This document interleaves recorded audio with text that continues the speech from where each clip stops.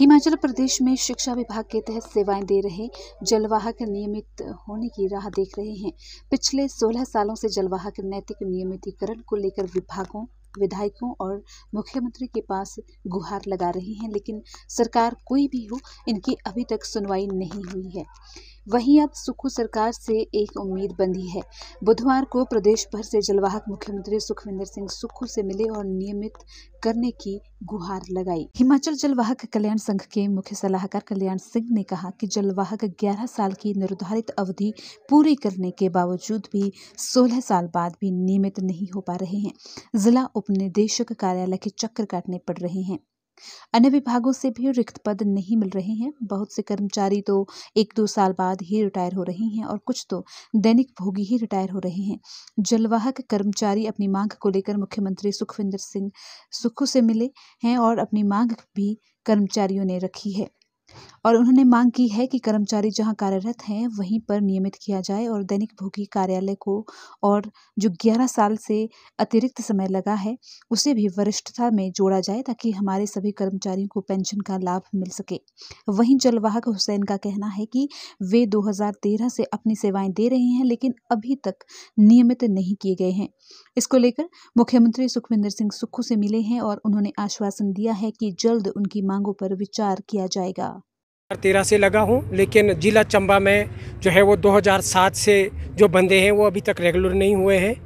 और मेरी आशा है, सीएम साहब से आज बात हुई कि जो 2007 से लेकर रेगुलर नहीं हुए हैं 2031 मार्च 2012 तक साथियों ने हमारा 11 वर्ष का कार्यकाल पूरा कर लिया है और हमारी सरकार से पूरी उम्मीद है कि जिन अंशकालीन जलवाहकों ने 11 साल का कार्यकाल पूरा कर लिया है उन्हें सरकार जो है वो 31 मार्च तक नियमित करेगी। तो और किसी अदर विभाग में हमें भेजा नहीं जाता है। पहले अदर विभाग में भेजा जाता है और बाकी डिस्ट्रिक्टों में जैसे मंडी में जो कांगड़ा में वहाँ पे स्वास्थ्य विभाग ने ले लिया है और ज़िला चंबा में जो है वो स्वास्थ्य विभाग हमें नहीं ले रहा है, वो बता रहे हैं कि आठवीं पास चाहिए। पहले उन्होंने पाँचवीं पास जिला चंबा में ले लिए हैं। तो हमारी सरकार से ये डिमांड है कि जिस तरह 2019 में भी पाँचवीं पास लिए थे स्वास्थ्य विभाग ने, उसी तर्ज पर आज भी पाँचवीं पास जो है वो शिक्षा विभाग में लिए जाएँ, ताकि जो हमारी ये 250 250 का आंकड़ा जो है रेगुलर होने को तैयार हुआ है। ये तभी पूरा हो सकता है जब सरकार हमें अदर डिपार्टमेंट में भेजेगी या जहाँ हम लगे हैं वहीं नियमित करेगी, तभी हम ये संकट का जो है द्वार पार कर सकते हैं। मैं कल्याण सिंह जलवाहक संघ, हिमाचल प्रदेश के कार्यकारिणी का मुख्य सलाहकार हूँ। आज हम प्रदेश की सारे कार्यकारिणी को लेकर यहाँ मुख्यमंत्री जी से मिलने आए थे, अपनी मांगों को लेकर। तो सबसे पहले हम मीडिया का बहुत बहुत धन्यवाद करते हैं कि वो समय समय पर हमारी मांगों को सरकार तक पहुँचाते रहे हैं। तो हमारी मांग ये है कि हम जैसे हमारे नियमितीकरण की पॉलिसी 11 साल की बनाई गई है पूर्व की सरकार द्वारा, लेकिन हमारे बहुत से जिलों, ज़िले हैं जहाँ पे वो 11 साल का तो लाभ मिल ही नहीं रहा है, बल्कि 16-16 साल के कर्मचारी अभी भी हमारे साथ यहाँ खड़े हैं तो वो 16 साल के बाद भी नियमित नहीं हो पा रहे हैं। तो इस मांग को लेकर हम मुख्यमंत्री जी से मिलने आए थे। तो हमारी मांग थी कि हम, एक तो जहाँ लगे हुए हैं, जहाँ पर भी कार्यरत हैं। हमने सरकार को विकल्प दिया है कि जहाँ लगे हैं, वहीं पर हमें नियमित किया जाए।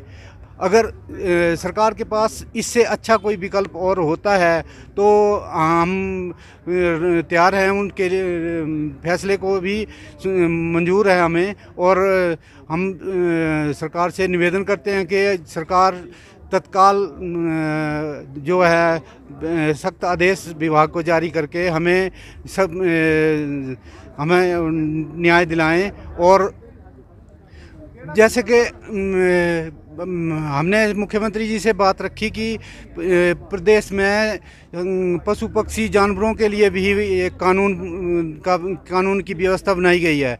मगर हम जलवाकों के लिए कोई कानून की व्यवस्था नहीं है, क्योंकि 11 साल की अवधि होने के बावजूद भी 16-16 साल लग रहे हैं तो हमें नहीं लगता कि हम आज़ाद देश या प्रदेश के वासी हैं।